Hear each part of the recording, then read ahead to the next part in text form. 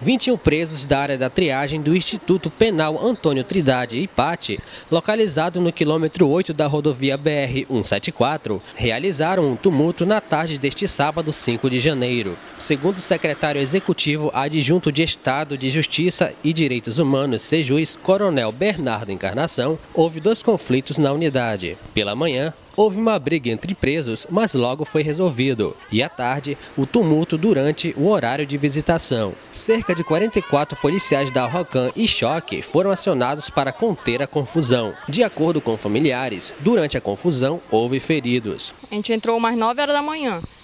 Aí quando a gente chegou lá dentro, foi umas 10 horas da manhã começou. Aí um preso estava gritando lá de fora, lá para dentro da triagem, estava gritando.